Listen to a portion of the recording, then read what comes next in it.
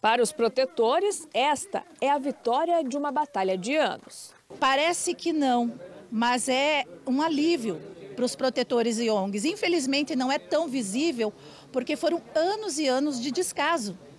Então é normal que o início seja sempre parecendo lento, mas não é. O espaço, que fica aberto das 7 da manhã às 5 da tarde, será um complemento para o trabalho que já é feito com o castramóvel e clínicas veterinárias cadastradas no município. O objetivo tem que ser de diminuir esse impacto que tem do abandono, da guarda irresponsável dos animais, né? Porque grande parte dos animais que estão na rua, alguém soltou, ele não se reproduziu na rua mesmo.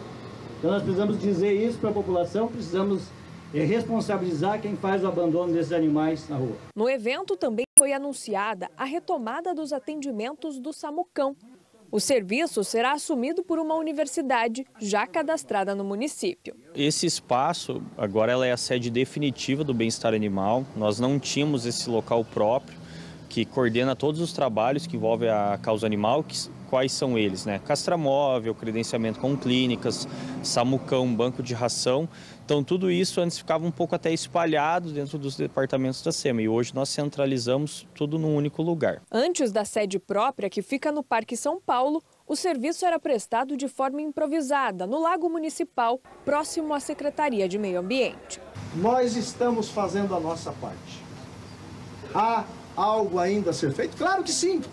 Se essa cidade vai chegar a 500 mil habitantes, nós teremos mais é, animais, nós vamos crescer, vamos cuidar da infraestrutura.